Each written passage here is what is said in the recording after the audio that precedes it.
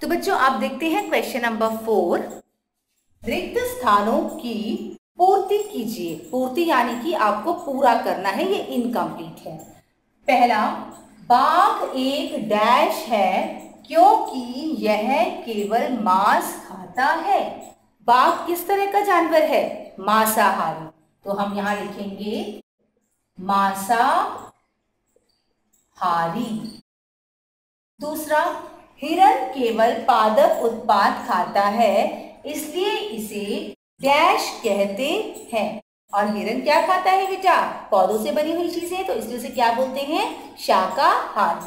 तो यहाँ हम लिखेंगे शाकाहारी। तीसरा, तोता केवल डैश उत्पाद खाता है।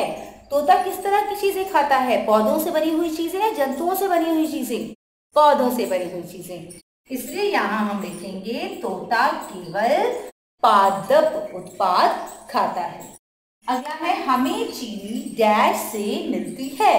हमें चीनी गन्ना से मिलती है।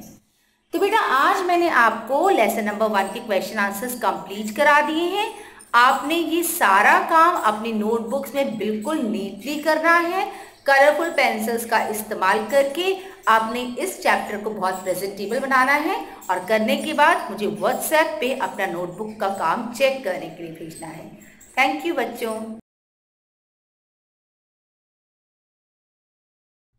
NTPC Faridabad and chief ministers good governance associates programme with star teachers of Faridabad.